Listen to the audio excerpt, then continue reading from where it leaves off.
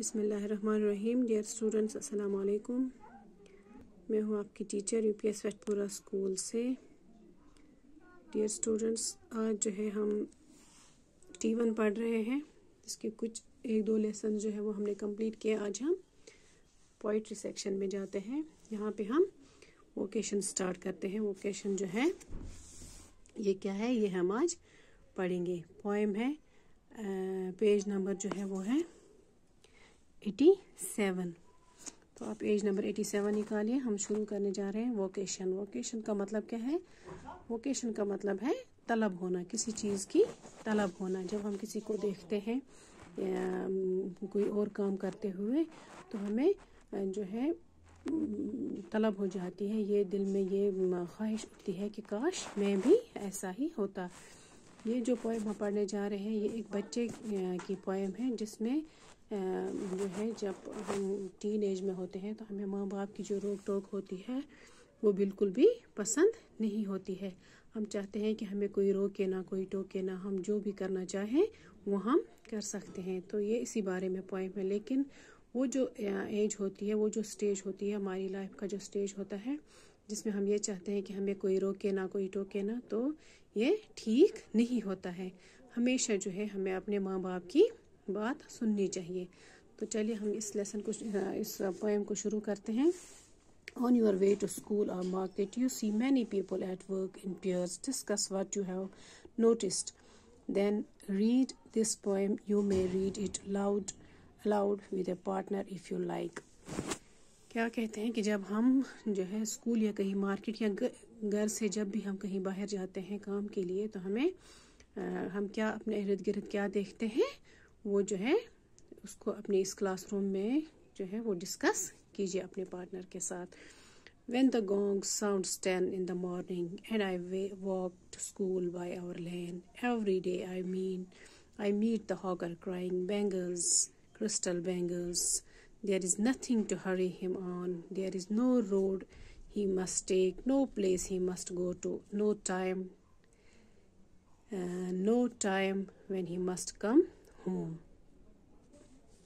Dear students, when the gong sounds ten in the morning, बच्चा जो है वो कहता है लिखता है कि जब सुबह घंटी जो when the gong sound ten in the जब भी सुबह दस बजना शुरू हो जाते हैं दस बज जाते हैं मॉर्निंग के I walk to school by our lane में स्कूल जाने की तैयारी करता हूँ। Every day I meet the hawker crying तो क्या होता है कि मैं स्कूल जाते हुए मैं क्या देखता हूँ?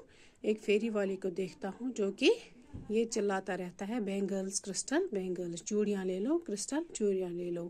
There is nothing to hurry him on बच्चा कहता है कि उसको किसी भी किस्म की कोई जल्दी नहीं होती है। There is no road he must take no place he must go to कोई भी आ, उसके पास ऐसी जल्दबाजी नहीं होती है कि, कि ये रोड जो है आपको क्रॉस करना है या आपको कोई लिमिट जो है उस निशाने तक पहुँचना है तो उसके पास ऐसा कुछ भी नहीं होता। No place he must go कोई भी ऐसी जगह नहीं होती है कि वहाँ पे उसको पहुँचना ज़रूरी है। No time when he must come home उसके पास कोई वक्त नहीं होता है जब वो घर आता है। तो ये जब फेरी वाले को देखता है कि वो चूड़ियाँ बेचता है, फिर फेरी वाला किसी भी वक्त कहीं भी जाने के लिए तैयार होता है, वो बिल्कुल आज़ाद होता है। तो वो किसी भी सड़क पे जा सकता है, कभी भी कोई ऐसी जगह जा सकता है जहाँ रौनक हो या ना हो। तो ये बच्चा जो है, ये स्कूली बच्चा इसी की ख्वाहिश करता है कि काश में जो है I wish I were a hawker spending my day in the road crying bangles crystal bangles अब ये ख्वाहिश करता है, इसको ये तलब होती है दिल में कि, काश में भी एक फेरी वाला होता जो कि दिन भर चूड़ियाँ बेचता रहता और मेरे पास कोई बंदिश नहीं होती, कोई रोकने टोकने वाला नहीं होता। When at four in the afternoon I come back to school जब चार बजे मैं अपने घर वापस आता हूँ, चार बजे जब छुट्टी होती है स्कूल से, जब मैं घर वापस आता हूँ I came back to school I can see through the gate of that house the gardener digging the ground मैं क्या देखता हूँ जब मैं चार बजे स्कूल से वापस आता हूँ तो एक माली को काम करते हुए देखता हूँ he does what he likes with his spade. He soils his clothes with dust. Nobody takes him to task if he gets baked. In the sun और गेट्स वेट वो जो चाहता है अपने उस हथियार के साथ, जो उसके साथ बीलचा होता है या कुछ और होता है, वो जो चाहता है वो उसके साथ करता है। ही सॉइल्स हिज क्लोथ्स वो मिट्टी के साथ अपने कपड़ों को गंदा करता है। Soils his clothes with dust dust होता है गंदा। तो nobody takes him to toss कोई नहीं होता है जो उसको टोकने वाला होता है। उसको कोई भी टोकने वाला नहीं होता है।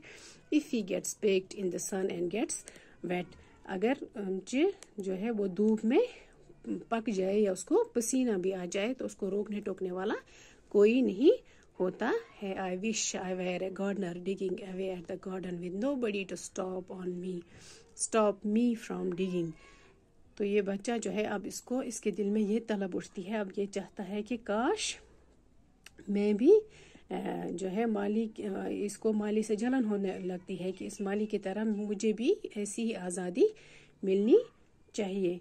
वो भी माली होता तो वो भी इसी तरह जो है ज़मीन खोदता और उसे रोकने टोकने वाला कोई भी नहीं होता। Just as it gets stock in the evening and my mother send me to back तो जूं ही जो है रात होना शुरू हो जाती है डार्क अंधेरा थोड़ा थोड़ा छाने लगता है, रात होने लगती है and my mother send me to bed मेरी माँ मुझे जो है वो बेड पे भेजती है कि आप सोने के लिए भेजती है मुझे। आई कैन सी मैं देख सकता हूँ through my open window the watchman walking up and down तो मैं क्या देखता हूँ? मैं अपनी खिड़की से बाहर एक जो है चौकीदार को देखता हूँ।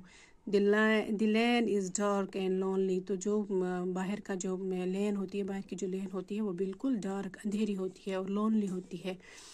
वो बिल्कुल अकेला होता है वहाँ पे and the street lamp stand like a giant with one red eye in its head तो जो लड़का जो है वो चौकीदार को देखता है, चौकीदार अकेला फिरता रहता है।